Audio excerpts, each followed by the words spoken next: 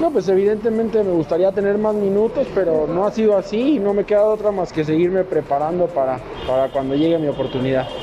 No, pues son muy buenos jugadores, creo que no, no está nada fácil, pero todos competimos sanamente para, para aportar al equipo cada quien de la manera que pueda.